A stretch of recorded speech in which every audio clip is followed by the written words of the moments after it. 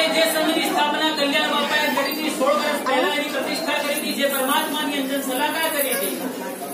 અને એ વખતે આ સંઘ આજે યુવાન થઈ ગયો છે. અમને દિલની અંદર તમન્ના જાગી. કે સંઘની સુવાસ છે. તો અમે પણ એને જોવા માટે જઈએ.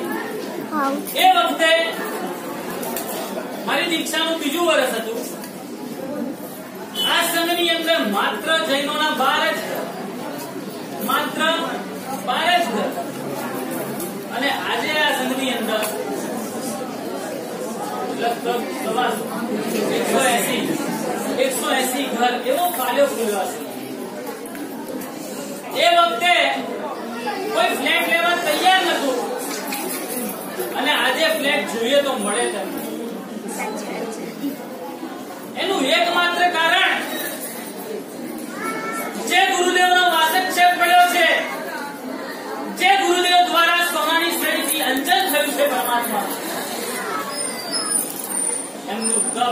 એમનું તેજ, એમનું ચારિત્ર આપણા શ્રી સંઘની ઉપર જબરજસ્ત આશીર્વાદની વર્ષા એક વાત મેં સાંભળી હતી હિમાંશુ સુરી દાદાની. બોતેર વર્ષની ઉંમર હતી એમની જયારે. ગિરનાર તીર્થની રક્ષા માટે એમણે ભેટ લીધો હતો. અને બોતેર વર્ષની ઉંમરે એ ગિરનાર તીર્થની યાત્રાઓ કરે ગિરનાર તીર્થના પગથિયા કેટલા લગભગ દસ હજાર પગથિયા. અને તમારે પચાસ પંચાવન વર્ષની ઉંમરે શત્રુને ગિરિરાજની યાત્રા બી કરવી હોય ને તો મારા સાહેબ પાસે બાસ્કેટ નખાવા વગર સાહેબ બાસ્કેટ નાખો મારાથી યાત્રા થઈ જાય એના કેટલા પગથિયા પાંત્રીસો પગથિયા એ હિમાંશુ સુરી દાદા એક વખત મહારાજને નીચેથી કહીને નીકળ્યા કે હું યાત્રા કરવા જાઉં છું આજે મારી નહીં આવતા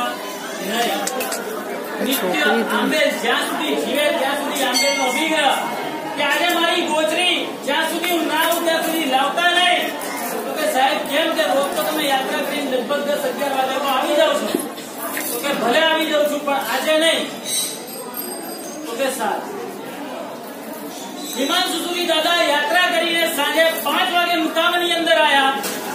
જેમ વલ્લભજી મહારાજ પૂછે છે કે આટલું બધું મોઢું સાને થયું? અને પાણી પાત્રાની અંદર લઈને જાય છે કે મારે પાણી હમણાં નથી વાપરવું? પછી વાપર થોડી વાર પછી પાછું લઈ જાય છે, નથી વાપરવું. એ પણ કે સવારથી આ કદી વાપર્યું નથી. નહીં ગોચરી નહીં પાણી, કશું. આવું ચાલે કે હું કાલે કહીશ. બીજો દિવસ થયો. બીજા દિવસે લગભગ બે વાગે એ પાછા આવ્યા. યાત્રા કરીને. હિમાન સુધી દાદાને પૂછવામાં આવ્યું કે, ફરીથી મારા સાહેબ, કેમ આવું? કે તમે ગોત્રીને પાણીને પ્રસ્થાન લઈ લીધા. અને એમના મુખની અંદર શબ્દો નીકળ્યા. કે હેમ વલ્લભ હું શું કરું કે? તીર્થની રક્ષા કાજે મારા જે પ્રયત્નો છે, એને કોઈ જૈન સાંભળતું નથી, કોઈ ગણકારતું નથી. કદાચ મારું પુણ્ય ઓછું પડી રહ્યું છે, માટે આ તપ દ્વારા હું કર્મનો ક્ષય કરું છું.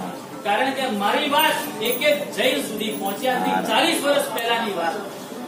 પુણ્ય ઓછું પડે છે બોતેર વર્ષની ઉંમરે એક ગુરુદેવ ચોવિયારો છઠ કરીને ગિરનારની સાથે જાત્રા અને આવું સત્વ આવો સંયમ અને આવી જીવ શાસન